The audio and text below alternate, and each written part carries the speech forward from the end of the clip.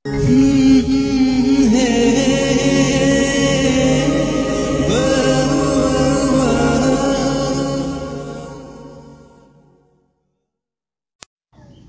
আলাইকুম ফ্রেন্ডস আজ আমি আপনাদের জন্য নিরবতা গল্পের চল্লিশ নম্বর পর্বটি নিয়ে হাজির হয়ে গেলাম। আশা করছি আপনাদের সবার ভালো লাগবে। আর তাই গল্পের শুরু থেকে শেষ পর্যন্ত দেখার পর অবশ্যই কমেন্ট করে জানাবেন কেমন লাগল। যদি ভালো লেগে থাকে, একটি লাইক দিতে ভুলবেন না। আর আপনি যদি আমাদের চ্যানেলের নতুন দর্শক হয়ে থাকেন, তাহলে চ্যানেলটি এখনই সাবস্ক্রাইব করার রিকোয়েস্ট রইল এবং পাশের ঘণ্টা বাটনটিও অন করে দিবেন।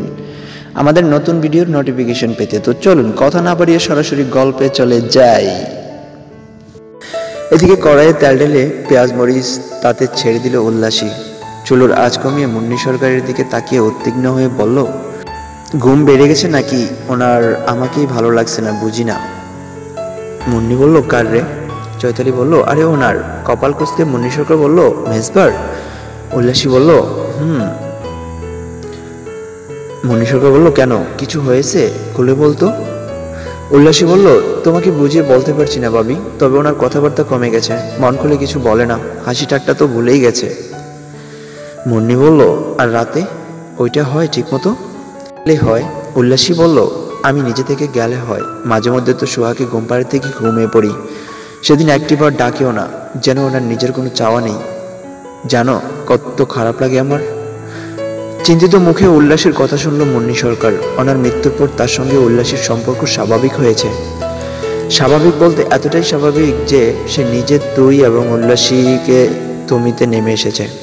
তাদের মাঝে বোঝাপড়া গড়ে উঠেছে, কেন যেন মেয়েটির প্রচুর ভালো লাগে তার। তার সঙ্গে সময় কাটাতে, সংসারের দুঃখ সুখের গল্প শোনাতে ভালো লাগে। মুন্নি বলল, আসলে তুই ছোট, তবে এতটাও ছোট নস যে ওর পরিস্থিতি বুঝতে পারবি না।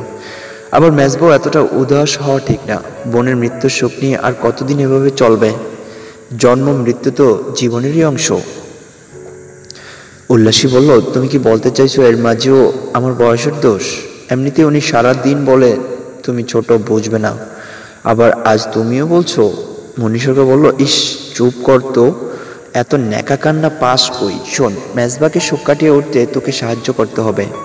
একজন স্ত্রী হিসেবে তোর উচিত ওকে স্বাভাবিক করা।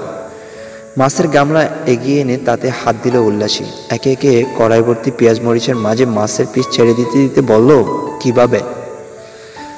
মনীষকা বলল, মানসিকভাবে সাপোর্ট দিয়ে।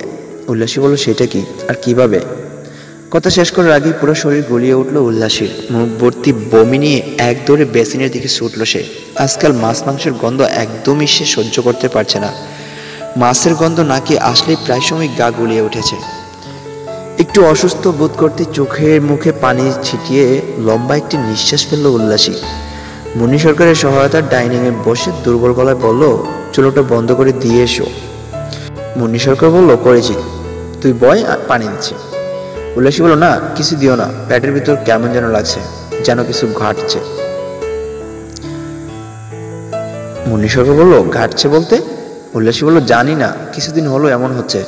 মাছ মাংসের গন্ধ সহ্য করতে পারছি না। ওনাকে বললাম সেদিন, উনি বলল, হয়তো গ্যাস হয়েছে, ঔষধ নিতে এই লোকটাকে আমার কিছুদিন হলো মেরে ফেলতে মন চায়। লোক দেখি এখন নিজেই দূরে দূরে থাকে। বদমাইশের উপর কোনো সুন্দর গালি আছে? থাকলে সেটাই উনি। কপাল কুস্তকে কিছু একটা ভাবলো মুন্নি সরকার। চোখে মুখে একরাশ শঙ্কা ফুটিয়ে বলল তো লাস্ট কবে পিরিয়ড হয়েছিল রে? উল্লাসী বলল, জানি না, এখন মনে করতে ইচ্ছে করছে না। মুনি সরকার বলল এক্সাক্ট ডেট বলতে হবে না। ক মাস আগে হয়েছিল এটা বল। একদণ্ড ভেবে উল্লাসী বলল, এ বাড়িতে আসার পর। মুনি সরকার বলল, চার মাস আগে? উল্লাসী বলল হ্যাঁ কেন? উল্লাসীর প্রশ্নে জবাব দিল না মুন্নি সরকার। উল্লাসী না হয় অবুঝ এসব নিয়ে মাথা ব্যথা নেই। কিন্তু মেজবা, সে এতটা অসচেতন কীভাবে হলো? এত মাস হলো মেয়েটির মাসিক হচ্ছে না, অথচ সে একবার খোঁজ নিয়েও দেখেনি। অবশ্য ওনার মৃত্যুর পর মেজবা যেভাবে ভেঙে পড়েছে, তাতে এর দোষ তার উপর পুরোপুরি চাপানো যায় না। তবে সে তো একজন ডাক্তার। তাছাড়া একজন সচেতন মানুষ হিসেবে অপ্রাপ্ত বয়স্ক এক মেয়েকে কীভাবে গর্ভবতী করল সে? নাটটি সবটাই অনাকাঙ্ক্ষিত। উদ্বিগ্ন বোধ করল মুন্নি সরকার। উল্লাসের কাছ থেকে বিদায় নিয়ে নিজের ফ্ল্যাটে এসে মেজবার নাম্বারে ডায়াল করল। কয়েকবার রিং বাজার পর অপর পাশ থেকে মেজবার কল রিসিভ করতে সে অস্থিরতা নিয়ে বলল, হ্যালো মেজবা, তুমি কখন বাসায় আসবে? মেজবা বলল, ফিরতে রাত হবে। মনি সরকার বলল, আজ একটু তাড়াতাড়ি ফিরলে হয় না? মেজবা বলল, কেন বলুন তো?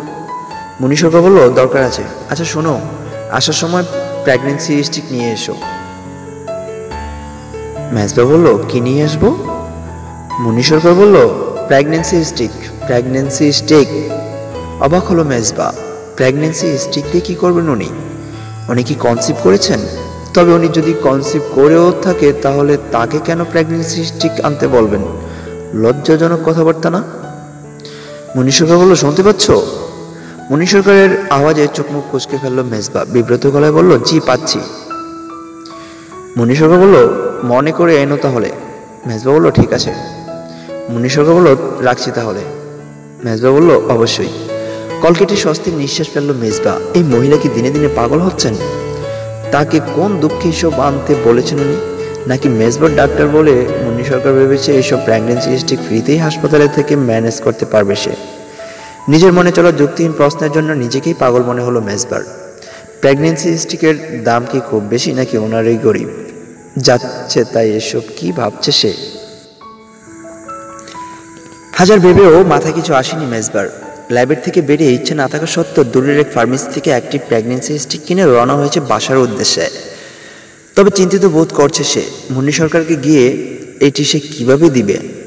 নিজে দিতে যাওয়া কেমন হয়ে যায় না? উল্লাসের কাছে দিয়ে পাঠালে কেমন হয়? না থাক, কোনো দরকার নেই। কাজের চেয়ে প্রশ্ন করবে বেশি সে। এটি কি? কি হয় এটি দিয়ে? এমন নানান প্রশ্ন করে একদম বিরক্ত করে ফেলবে। আজকাল তার বকবকানির পরিমাণ খুব বেড়েছে। সাথে বেড়েছে তার প্রতি উল্লাসীর চাওয়া পাওয়ার পরিমাণ। রিক্সা ভাড়া মেটিয়ে বাসার দিকে পা বাড়ল মেজবা। হাসান সরকার যদি বাসা থাকেন তাহলে এটি কি বলে দিবে সে? তাছাড়া উনি বা কি ভাববেন? নাকি ওনারা সবটাই জানা? জানা থাকলে উনি নিজে না এনে তাকে দিয়ে আনাচ্ছে কেন? উদ্বেগপূর্ণ চোখে মুখে কলিং বেল চাপ দিতেই ভেতর থেকে দরজা খুলে দিল মন্নি সরকার। গম্ভীর গলায় বলল, তুমি? আমি আরও ভাবছি তোমার ভাই। আজ ও বাড়ি আসুক। বারবার বলেছি শীতলের জন্য মেয়ে দেখতে যাব। জলদি এসো জলদি এসো। অথচ ওই হাদারামের খবরই নেই। মেজবা বলল, ও, হাসান ভাই নেই? মুন্নি বলল, না, কিছু বলবে? মেজবা বলল হ্যাঁ মানে এই তো, নিন। সরকার বলল, কি এটা? মেজবা বলল ইয়ে মানে আপনি যে আনতে বললেন প্রেগনেন্সি স্টিক সরকার বলল, তো এটা আমায় কেন দিচ্ছ? আমতামতা করে মেজবার জবাব দিল, তাহলে কাকে দিব? আপনি কনসিভ না মানে আচ্ছা যাকে দেবার আপনিই দেবেন, ধরুন। সরকার বলল, আরে বেটা, নিয়ে যাও তো সাথে। এমনিতে তোমার ভাই আমাকে বলল আসুক কাজ, পদের হাড্ডি একটা। মুন্নি সরকারের কথা বোধগম্য হলো না মেজবার। বিস্ময় নিয়ে সে বলল, আমি নিয়ে যাব? মুন্নি সরকার বলল হ্যাঁ টেস্ট করে কি খবর আসে জানিও। মেজবা বলল টেস্ট মুন্নি সরকার বলল, তো কি প্রেগনেন্সি স্টিক পুজো দেওয়ার জন্য এনেছো? মেয়েটা ছোট, একটু দেখে শুনে চলবে না? এই দেখো, আবার ফোন বাজে। যাও, তুমি পরে কথা বলব। মুন্নি সরকার ফ্ল্যাটের সদর দরজা লাগিয়ে দিতে স্তব্ধ হয়ে সেখানে দাঁড়িয়ে রইল মেজবা। কোনোভাবেই উল্লাসের কথা বলছেন কি মুন্নি ভাবেই তাছাড়া আর কারি বা বলবেন, সে তো আর কোনো মেয়ে নয়, আর না সে কনসেপ্ট করতে পারবে। কিন্তু উল্লাসী কীভাবে? তো ফ্রেন্ডস আজকের গল্প এতটুকুই ছিল। পুরো গল্পটি দেখার পর আপনাদের কেমন লেগেছে কমেন্ট করে জানাবেন। যদি ভালো লেগে থাকে, একটি লাইক দিয়ে দিবেন। আর আপনি যদি ফরক্স ডায়েরিতে নতুন হয়ে থাকেন, তাহলে চ্যানেলটি এখনই সাবস্ক্রাইব করবেন। এবং পাশের ঘণ্টা বাটনটি অন করে রাখবেন আমাদের নতুন ভিডিওর নোটিফিকেশনের মাধ্যমে পাওয়ার জন্য। আর অলরেডি যারা চ্যানেলটি সাবস্ক্রাইব করেছেন, তাদেরকে জানাই অনেক অনেক ধন্যবাদ। আশা করছি সবসময় এইভাবেই ফারুকস ডায়েরির সাথেই থাকবেন।